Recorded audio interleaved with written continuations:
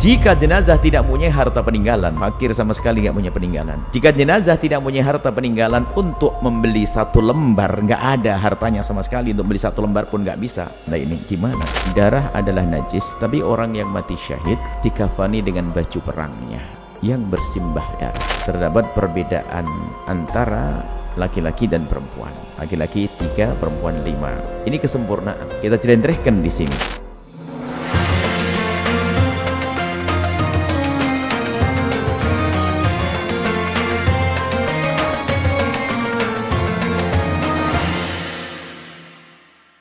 Kita sudah sampai kepada bab yang keempat yaitu mengafani jenazah. Mengafani jenazah maksudnya mengafani adalah mengenakan kain penutup pada jenazah sesuai dengan syarat-syaratnya tentunya. Adapun syarat mengafani apa sih syaratnya yang dianggap kafan itu sah? Sehingga gugurlah kewajiban kita. Pertama adalah mengenakan mengafani dengan kain yang suci.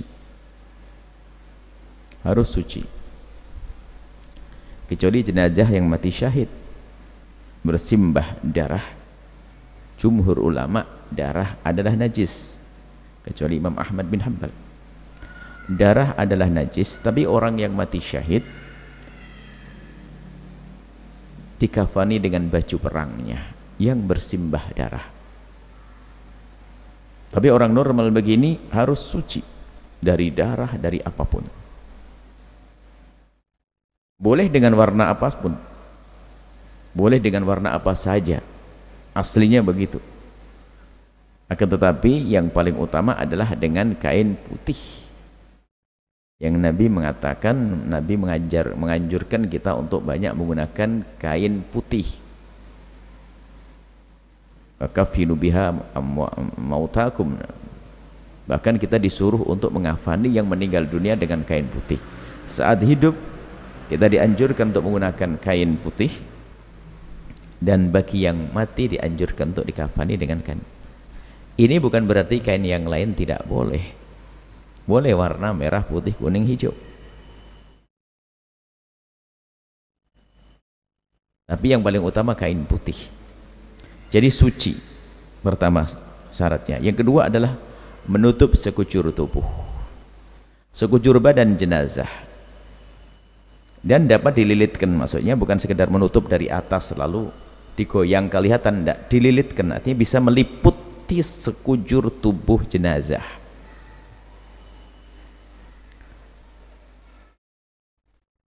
kecuali nanti ada pengecualian bagi orang muhrim.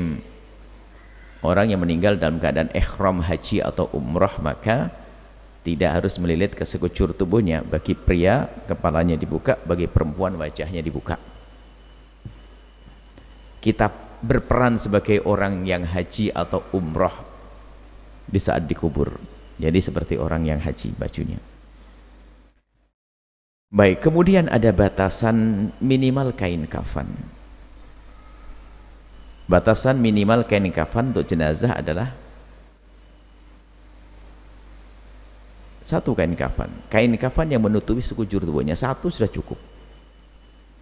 Ada mayat, kita cari kain satu. Kita kenakan kain satu untuk menutupi sekujur tubuhnya cukup sudah sah. Tapi di sana ada kesempurnaan. Adapun kesempurnaannya ada. Adapun kesempurnaannya terdapat perbedaan antara laki-laki dan perempuan. Laki-laki tiga, perempuan lima. Ini kesempurnaan. Kita celentrehkan di sini. Jenazah, kafan jenazah laki-laki. Kalau laki-laki, bayangin laki-laki gimana? Tidak dulu jenazah yang mempunyai harta peninggalan dia meninggalkan harta atau tidak? Makanya dalam pembagian waris itu harta waris tidak boleh diwaris dulu kecuali sudah diselesaikan urusannya. Urusan hutang kepada Allah hutang kepada manusia wasiat. Urusan hutang kepada Allah another. Urusan atau haji kalau sudah wajib haji sebelum harta di sebelum diwaris enggak sebelum diselesaikan enggak boleh diwaris. Ingat yang ada orang tuanya meninggal dunia jangan serta merta membagi harta waris. Dan memang membagi harta waris itu hendaknya secepatnya. Jangan menunda-nunda. Kalau menunda main yang main syaitan tertikaian. Naudzubillah. Setannya gede waris. Tapi pun demikian seburu-buru apa pun tidak boleh kecuali selesai lima. Satu urusan kepada Allah. Mungkin dia pernah wajib haji atau wajib umrah. Nadar kemudian utang kepada manusia beresin dulu utangnya. Kemudian urusan zakat jika memang jatuh tempo untuk bayar zakat keluarkan dulu zakatnya. Wasiat wasiat harus tanya pada ulama wasiat benar atau tidak ini. Jangan-jangan wasiatnya salah atau enggak enggak harus penuhi yang kelima adalah ini. Biaya perawatan jenazah kain kafannya. Kalau ada peninggalan kalau kain kafan. Selagi ini belum nggak boleh dibagi itu waris nah kain kafan bagi jenazah yang punya harta peninggalan. Jika jenazah punya harta peninggalan dan ia tidak punya hutang atau utang serta tanggungan yang dapat menghabiskan harta tersebut apakah zakat ini? Selagi masih ada sisa dari zakat, dari utang, dari ini kok masih ada sisa maka kain kafan yang paling sempurna untuk jenazah laki-laki tersebut adalah tiga lembar jadi harta segitu banyak yang ditumpuk miliaran dia hanya punya hak diambilkan tiga lembar kain untuk dibawa ke kubur. Kalau ternyata dia punya gigi emas kalau ahli waris yang nggak terima copot itu gigi emas. Kalau nggak terima karena mau ada nilainya barangkali untuk beli beras. Makanya sangat rugi kalau orang diberi harta melimpah meninggal dunia tidak dibawa caranya membawa gimana? Titipkan ke tempat mulia. Masjid, pesantren, fakir, miskin dan seterusnya. Ternyata hak kita itu dari harta yang kita tumpuk itu dari itu semuanya hanya selembar tiga lembar kain. Artinya boleh diambil tiga lembar kain. Jika jenazah mempunyai harta peninggalan yang masih tersisa setelah melunasi hutang dan kewajibannya tadi maka sebelum harta tersebut diwaris oleh ahli warisnya jenazah mempunyai hak dari harta tersebut untuk dibelikan tiga lembar kain kafan. Adapun jumlah kain kafan yang wajib bagi jenazah laki-laki adalah satu lembar. Wajibnya satu lembar. Tapi kesempurnaannya ada sampai tiga boleh diambil tiga. Kalau ternyata keluarganya fakir sekali ya ya tetap haknya tiga. Seandainya satu sah. Sedangkan tiga lembar kain kafan adalah sebuah kesempurnaan dan haknya jenazah atas hartanya. Jika jenazah tidak punya harta peninggalan nah ini gimana? Fakir sama sekali nggak punya peninggalan. Jika jenazah tidak punya harta peninggalan untuk membeli satu lembar nggak ada hartanya sama sekali. Untuk membeli satu lembar pun nggak bisa maka wajib bagi kita untuk mencari atau membelikannya dari harta kita. Fardu kifayah baru di sini berfungsi di dalam bab kafan. Cuman kalau seandainya ada orang berderma kain kafan untuk orang meninggal dunia ya sah saja. Tidak perlu diambilkan dari harta waris. Kan sekarang ada misalnya perkumpulan di kampung itu adalah penyediaan kain kafan sah. Ini gambarannya jika seandainya tidak ada itu semuanya. Tidak ada penyediaan kain kafan tidak ada orang berderma kain kafan maka diambilkan dari uangnya.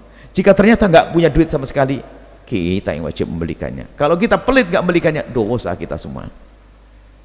Dan jika kita tidak mencari atau tidak membelikannya maka kita akan dapatkan dosa semua dari kita.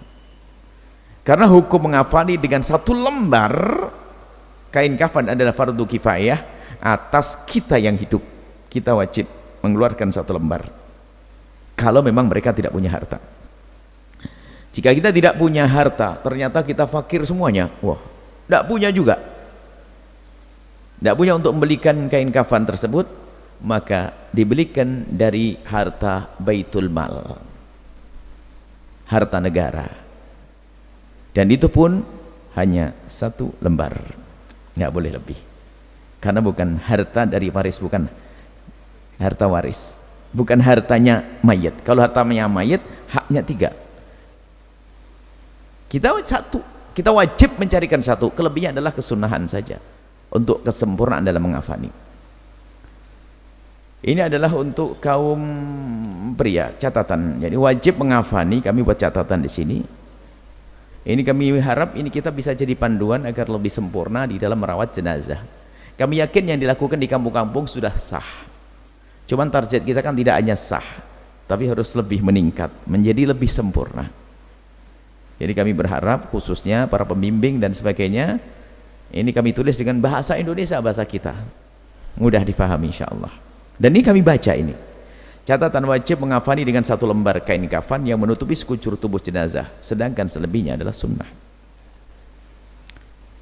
Dua, tiga lembar tersebut tidak diharuskan tiga lembar bagi kaum pria ini. Ini perhiasan, perempuannya besok.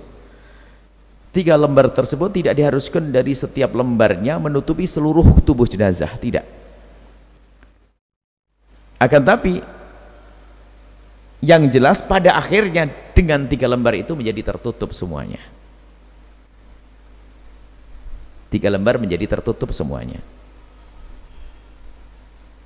Yang terpenting adalah sekujur tubuh akan tertutup dengan tiga lembar tersebut. Bukan harus selembar menutupi semuanya. Dan nanti ada caranya waktu menata kainnya itu ada. Di sini kita tulis juga gambarnya sudah ada. Baik. Kemudian kalau untuk perempuan, kalau jenazah perempuan sama. Wajibnya hanya satu lembar mengutupi sekujur tubuhnya akan tapi ada kesempurnaannya. Ini kesempurnaannya sebagai berikut ya. Ada gamis istilah. Nanti kita terangkan gamis kayak apa. Gamis ada khimar ada izar kemudian dua lembar kain. Jadi lima lima potong. Potong yang pertama adalah gamis. Gamis itu adalah kain yang diperkirakan nanti kalau melilit badan wanita tersebut menutupi badan sampai kaki dari sini sampai kaki panjang. Jadi kita potongkan kain sepanjang badan sampai kaki maka disebut dengan sebutan gamis. Sebab kalau itu dijahit akan jadi baju gamis. Beneran kan gitu? Kan gitu ya? Kemudian yang kedua khimar. Nanti dipotong kain diletakkan kain yang menutupi kepala. Nanti diletakkan di bagian kepala. Jadi dikira-kira nanti akan diletakkan di atasnya mayat pas ke kepalanya. Artinya seandainya hidup itu bisa jadi kerudung buat dia. Cuman tidak dijahit sekarang. Nah, kemudian C izar. Izar itu adalah kain yang menutup antara pusat dengan lutut.